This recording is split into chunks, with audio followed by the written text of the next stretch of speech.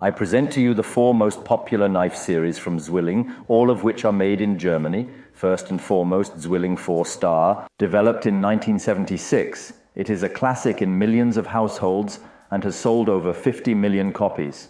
It is a premium knife, forged, characteristically recognizable by the so called bolster, and with a practical, easy to clean plastic handle.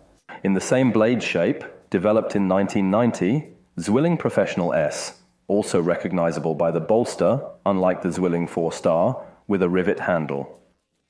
As the third series among the forged premium knives, Zwilling Pro, with a slimmer, more modern bolster which offers experienced users a perfect balance and enables a weighing cut.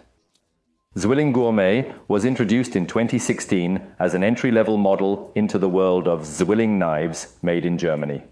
A stamped knife made from the same high quality special steel as the forged premium knives.